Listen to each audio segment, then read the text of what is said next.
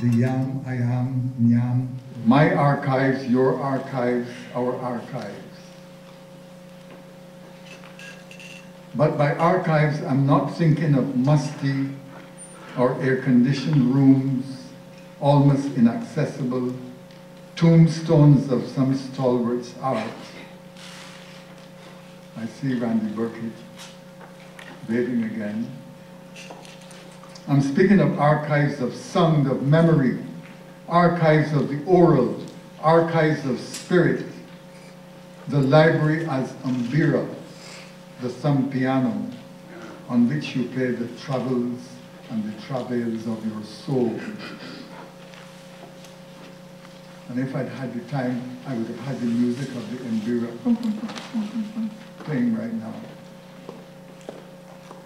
Archives of ownership, of reclamation, of record of discovery of yourself in a strange land by the still or turmoil waters where you lay down and weep, where you lay down and dream, where you become free.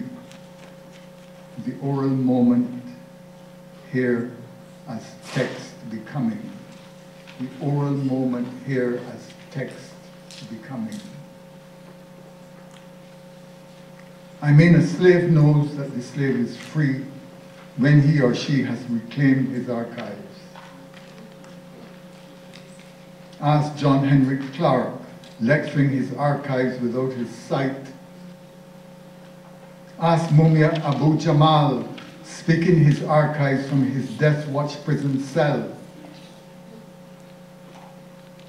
This is the magic and the mystery of the slave ship over and across Kalunga, triumphant passage of the Middle Passage. I mean, we come with freedom archives, without the printing block, without the Roman alphabet.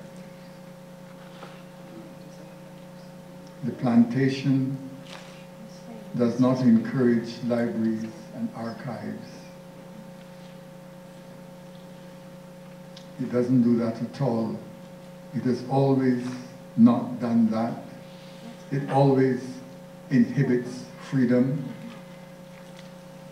But the archive of our people, we really need a name to cover all of us who come over on that middle passage.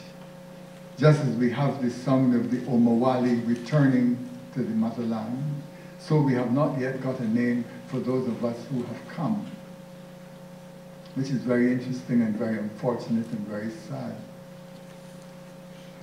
The Kumina people of Jamaica say arrivants. That's what they call us. Miss Queenie says, the queen of the Kumina, well, my all arrivants, Africa. We from Africa, Jamaica, a barn here. Note the seamlessness of origin direction not double consciousness, but prismatic, colors from a single source of mabra, dark and light. So that the Arrivants archive is immanent, immanent.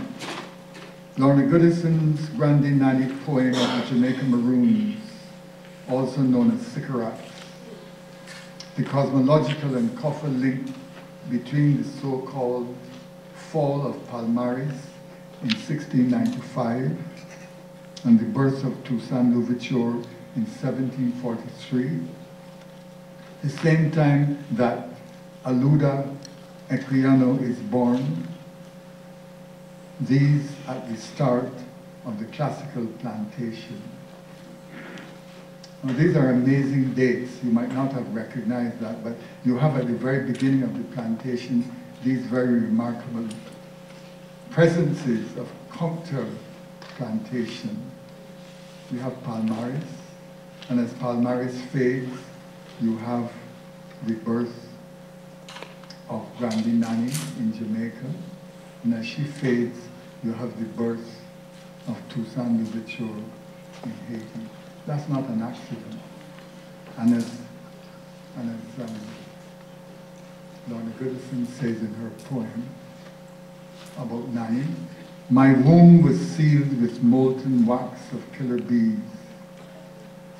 For nothing should enter, nothing should leave the state of perpetual siege, the condition of the warrior. From then, my whole body would quicken at the birth of every one of my people's children. I was schooled in the green-giving ways of the roots and vines, made accomplice to the healing acts of cheney root, fever grass, and vervain. My breast flattened, settled, and moving against my chest. My movements ran equal to the rhythms of the forest. I could sense and sift the footfalls of men from the animals and smell danger, death's odor in the wind's shift. When my eyes rendered light from the dark, when my eyes rendered light from the dark, my battle song opened into a solitaire's moan. I became most knowing and forever alone. And when my training was over, they circled my waist with pumpkin seeds and dried okra, a traveler's jigida, and sold me to the traders, all my weapons within me. I was sent. Tell that to history.